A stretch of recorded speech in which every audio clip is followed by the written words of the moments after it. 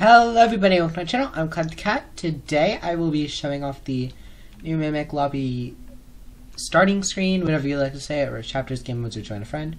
So this is actually Mahari right here, or also the Japanese urban legend that is based after is Kuche Sakaona, I believe. I'm not good at saying these.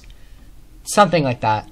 Anyways, I'm not good at with urban legends, but basically the backstory behind this urban legend is there's like this woman, I think if you go into detail, before she was killed, like her husband went off to war, so she like cheated on him with one of his friends or something like that happened. So when he came back, he found out like she was like the prettiest woman in the town. When he came back, he found out about it and slit her mouth, and she I think like bled out or something. My sister's really good with these Japanese urban legends. This is why I have like some sort of idea. She absolutely loves them, especially this one. This is one of her favorites. Um, and so I'm pretty sure that's what happened. After she, then after she died, she'd come back and haunt people. She would wear a mask over her face, and you would she would norm. I'm pretty sure walk up to people who are alone. They would she would say, "Am I pretty?"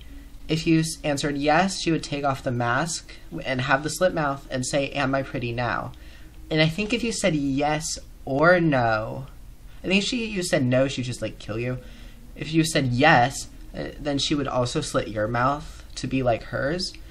Um, and if you said no, I think she would like before like so she asked, "Am I pretty?" and you said no. I believe then she would just kill you. I'm not 100 percent sure on that. I think the only way you were able to get away with her away from her in the urban legend is like saying, "Sorry, I'm busy" or something to do with candy. Once again, I'm not sure. My sister's really good at these urban legends. Anyways, that's why it says, "Am I pretty?" I love how they're actually going a lot off of the urban legends now. And so yeah, here's the new lobby. I actually I'll click chapters to see. I'm not sure if there's anything new in here. It might still be the book 2 lobby.